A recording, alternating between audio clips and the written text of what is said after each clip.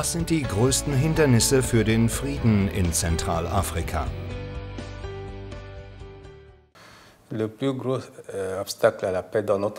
Das größte Problem in unserem Land sind die bewaffneten Gruppen und deren Entwaffnung, die nicht schnell genug vorangeht.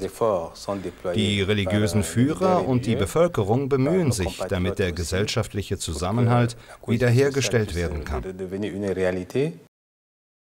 Ist Versöhnung überhaupt möglich?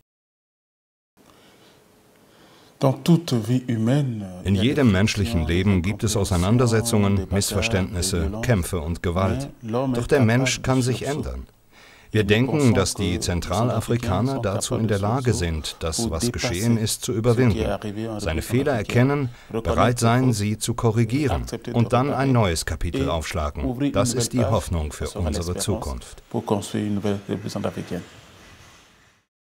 Was sind die Gründe für den Konflikt?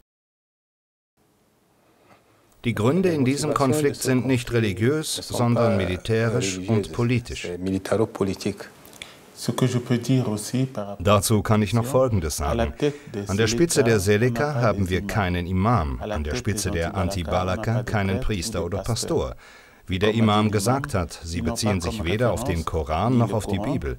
Es geht eher um Macht und Reichtum. Was unternehmen Sie gegen den Missbrauch der Religion? Man hat die Religion auf subtile Weise benutzt, um an die Macht zu gelangen. Wir religiöse Führer haben gemeinsam Nein gesagt. Wir streben nach Brüderlichkeit und nicht nach Spaltung. Wir handeln gemeinsam, um zu sagen, wir sind auf der Welt, um zusammenzuleben. Das ist unsere Bestimmung. Wie ist die Situation der vielen Zentralafrikaner, die vor dem Bürgerkrieg fliehen? Die Lage unserer Flüchtlinge in den Nachbarländern ist, dass sie nicht den Status als Flüchtlinge haben. Das ist ein großes Problem. Sie haben nicht den Status. Sie sind mit allen möglichen Problemen konfrontiert. Die Kinder gehen nicht zur Schule, es kümmert sich niemand um sie. Es gibt keine medizinische Versorgung. In unserem Land haben Bistümer und einige Gemeinden muslimische Flüchtlinge aufgenommen und wir sagen unseren Gemeindemitgliedern, die Menschen sind nicht eure Feinde und auch keine Fremden. Es sind eure Nächsten, eure Brüder. Ihr müsst sie lieben und willkommen heißen. Was sagen Sie den Afrikanern, die nach Europa wollen? Alors, moi je dirais d'abord Zuerst möchte ich den Europäern sagen, helfen Sie den Afrikanern, in ihrer Heimat zu bleiben, dort glücklich zu sein.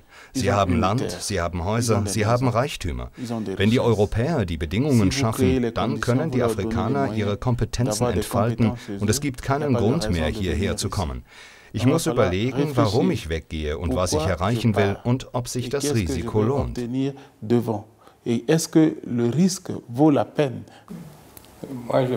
ich teile die Ansicht des Erzbischofs. Doch meinen afrikanischen Brüdern möchte ich sagen, sie sollen in den Ländern, die sie aufnehmen, ihre afrikanische Würde behalten. Was bedeutet der Aachener Friedenspreis für Sie?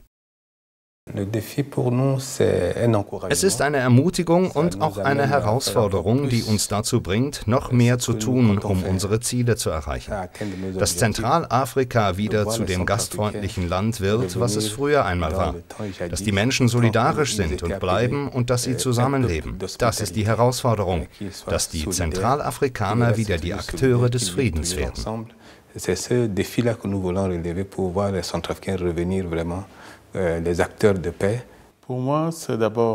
Es ist eine Ehrung für alle, die ihr Leben verloren haben und die gerne ehrlich und in Würde gelebt hätten. Ich denke an die Vertriebenen, die aufgrund des Krieges unser Land verlassen haben. Ich will sie durch diesen Preis ehren. Gleichzeitig möchte ich, dass dieser Preis ein starkes Signal der Versöhnung ist, damit man sagt, nie wieder. Qu'on dise plus jamais ça. Es ist ein Preis, den wir der Vergebung widmen.